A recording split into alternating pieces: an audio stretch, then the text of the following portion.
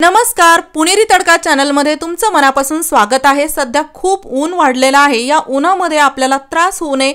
यासाठी आपण घरामध्ये काय बदल केले पाहिजेत किंवा इतर काही छोट्या मोठ्या टिप्स देखील आपण पाहणार आहोत.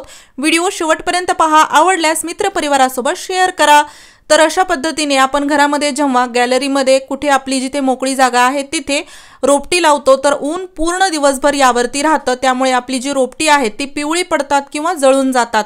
माझ्यासोबतही हाच प्रॉब्लेम होत होता. तर याला सोडवण्यासाठी मी एक छोटासा उपाय केलेला आहे. तोच मी तुमच्यासोबत शेअर करत आहे आणि हा छोटासा एक उपाय आहे. त्यामुळे आपले भरपूर फायदे होतात. जसं की आता उन्हाळ्यामुळे खूप घरामध्ये धूळ येते तर ती पण कमी होते. सोबतच दिवसभर उन्हामुळे घरामध्ये अशी गरम हवा येत राहते तर ती पण कमी होते. तर इथे आपण टाकाऊपासून टिकाऊ वस्तूचाच उपयोग करणार आहोत. माझ्याकडे इथे लाकडी एक पट्टी पडलेली होती तर त्याचाच वापर करत आहे मी. आणि ही जी ग्रीन जी जाळी आणलेली आहे ती पण अगदी स्वस्तात आहे. म्हणजे साठ सत्तर रुपयामध्ये तुमचं काम होणार आहे. आणि इथे तुम्ही दोऱ्याने देखील याला असं बांधू शकता किंवा हार्डवेअरच्या दुकानामध्ये हे जसं मी घेतलेलं आहे टाईट करण्यासाठी ते पण तुम्ही घेऊ शकता. तर अशा पद्धतीने मी जी लाकडी काठी होती त्याला असं बांधून घेतलेलं आहे. आणि याला नाही बांधलं तरी चालेल पण यांना बांधण्याचे काय फायदे आहेत ते पण आपण पाहणार आहोत. कारण की संध्याकाळच्या वेळी थोडी मोकळी हवा आपल्याला हवीशी वाटते. मग असं लावून घेतलं की मग हवा कशी येणार? तर त्यासाठी आपण ती लाकडी दांडी लावलेली आहे. खूप छान असं ऑर्गनायझर आहे. तुम्ही जर याला घरी बनवलं तर शंभर रुपयाच्या आतमध्येच बनवू शकता. जसं जागा छोटी मोठी त्यानुसार आणि विकत घ्यायला गेलात तर नक्कीच हजार बाराशे तरी जातील. तर अशा पद्धतीने मी याला व्यवस्थित लावून घेत आहे वरच्या बाजूने आणि खालची बाजू लाकडी दांडीची होती ती आहे. आता ही लाकडी दांडी लावल्यामुळे आपली जाळी एका जागेवरून हलत नाही. सोबतच तुम्हाला जर ऊन गेल्यानंतर याला वरती करायचं असेल तर असं छान वरती करून तुम्ही ठेवू शकता. यामुळे उन्हापासून आपली रोपटी दूर राहतील. त्यासोबतच बाहेर गावी जाताना याला जर तुम्ही असं लावून गेलात तर धूळ पण येणार नाही. सोबतच कबूतर पण खूप त्रास देतात तर ते पण आतमध्ये येऊ शकणार नाहीत.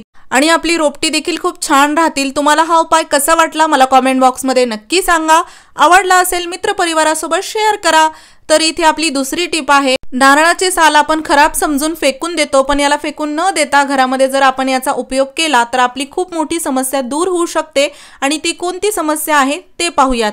आता उन्हाळ्यामुळे मुलांना सुट्ट्या लागतात शाळेला आणि आपण गावी जातो. गावी जाताना आपण प्रत्येक गोष्टीची काळजी घेतो पण आपली जी रोपटी असतात ती कशी सुरक्षित ठेवायची? हा आपल्याला प्रश्न पडतो कारण की एकदाच पाणी टाकलं तर अगदी महिनाभर तर चालणार नाही. मग यासाठी उपाय काय करायचा? तर इथे पहा अशा प्रकारे मी नारळाच्या ज्या साली आहेत त्या कुंड्यांमध्ये ठेवून दिलेल्या आहेत. आता काय ह्या ज्या कुंड्यामध्ये साली आपण ठेवलेल्या आहेत त्यावरती आपल्याला थोडंसं पाणी टाकायचं आहे. कुठे गावी जात नसाल तरी पण हा उपाय करा. नारळाच्या साली अशा व्यवस्थित टाकून त्यामध्ये पाणी टाकलं की सालींमध्ये छान असं पाणी मुरतं आणि आपण एक दोन दिवस जरी झाडांना उन्हाळ्यामध्ये पाणी नाही टाकलं तरी चालतं. कारण की हळूहळू त्या ओलाव्यामुळे आपले झाडं छान ताजे राहतात. नक्की ट्राय करा. प्रत्येक घरामध्ये आजकाल अशा प्रकारे आपण ड्राय बाल्कनी ठेवतो आणि ड्राय बाल्कनी म्हटलं की आपण काही ना काहीतरी त्यामध्ये अशा वस्तू ठेवत असतो. याला जर असंच तुम्ही ओपन ठेवलं तर उन्हाळ्यामध्ये अगदी धुळीने पूर्ण ही गच्च भरू शकते. तर त्यासाठी मी उन्हाळा सुरू झाला की हा उपाय केलेला आहे. इथे मी ग्रीन मॅट लावलेली आहे आणि जसं केबल टायने याला मी छान व्यवस्थित पॅक केलेला आहे. मागच्या बाजूने तुम्ही पाहू शकता. यामुळे अजिबात आतमध्ये धूळ येणार नाही. सोबतच आपल्या वस्तू आपण काय ठेवल्यात ते पण दिसणार नाही. तर यानंतरची आपली टीप आहे आपल्याकडे जर असे यूज अँड थ्रोचे कंटेनर असतील किंवा एखादं कंटेनर मुद्दाम देखील तुम्ही घेऊ शकता कारण की घरामध्ये आपण याचा छान उपयोग करणार आहोत.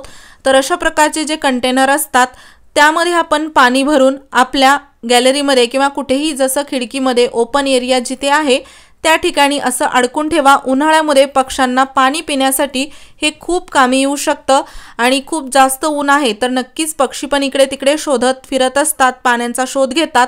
तर अशा प्रकारे पाणी त्यांच्यासाठी नक्कीच राखीव असं ठेवा.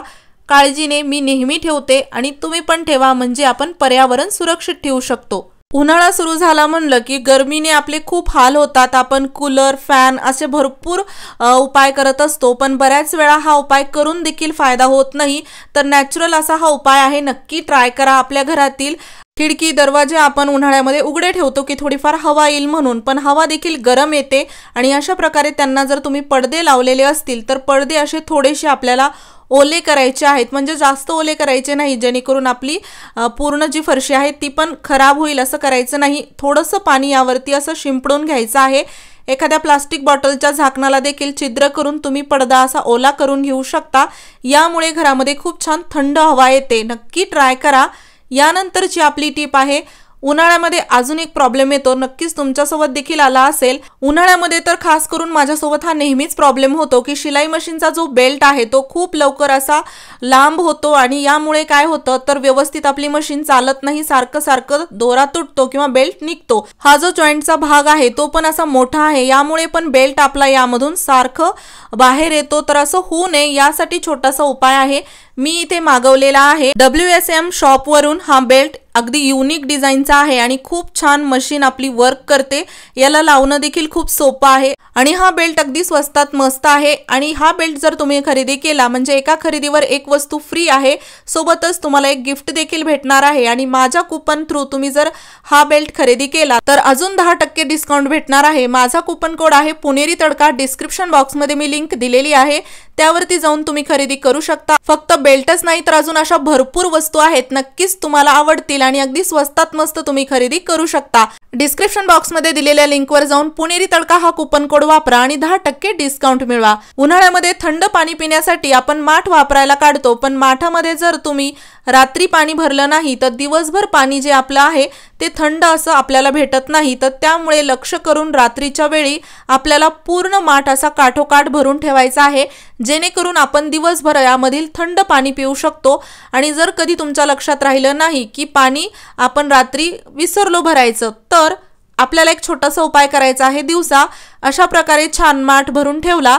की एक ओला कपडा घ्यायचा आहे. पूर्ण माठाला जर तुम्ही कपडा गुंडाळू शकत नसाल तर अशा प्रकारे वरती एक ओला कपडा करून ठेवा आणि पूर्ण दिवसभर थंड पाणी प्या. यानंतरची आपली टीप आहे उन्हाळ्यामध्ये बऱ्याच वेळा आपण पाहतो की फ्रीज छान आपलं थंड होत नाही म्हणजे कुलिंग सिस्टम याचं व्यवस्थित नसतं.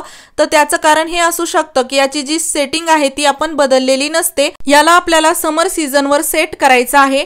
यानंतर जसं आता थंडी कमी झाली की आपण मोठे मोठे जे ब्लँकेट रग या वस्तू ठेवून देतो आणि याचं जे कवर आहे ते जुनं झाल्यानंतर खराब होतं तर याला ठेवण्यासाठी आपण जुन्या शर्टचा वापर करू शकतो. अशा पद्धतीने इथे मी याला जुन्या शर्टमध्ये असं ठेवलेलं आहे. पाहू शकता किती मोठी ही रग आहे आणि किती छान व्यवस्थित यामध्ये बसते. अगदी वर्षभरासाठी आपण यामध्ये याला ठेवू शकतो कारण की एवढ्या मोठ्या रग ब्लँकेट जर खराब झाल्या तर धुण्यासाठी भरपूर मेहनत करावी लागते. तर याला वेगळं असं कवर खरेदी करण्यापेक्षा एका जुन्या शर्टमध्ये ठेवा जेणेकरून या वस्तू अशा छान राहतील आणि घरही ऑर्गनाईज राहील. आणि हो तुम्ही हा व्हिडिओ कोणत्या गावातून किंवा शहरातून पाहत आहात ते मला कॉमेंट बॉक्समध्ये नक्की सांगा. जेणेकरून माझा व्हिडिओ कुठे कुठे पोहोचला मला तेही कळेल. आणि व्हिडिओच्या शेवटी मला तुमचे आभारही मानता येतील. तुम्हाला सर्वात जास्त कोणती ट्रिक आवडली ते मला कॉमेंट बॉक्समध्ये नक्की सांगा. व्हिडिओ आवडला असेल व्हिडिओला लाईक करा शेअर करा चॅनलवर नवीन असाल सबस्क्राईब नक्की करा. पूर्ण व्हिडिओ पाहिल्याबद्दल मनापासून धन्यवाद.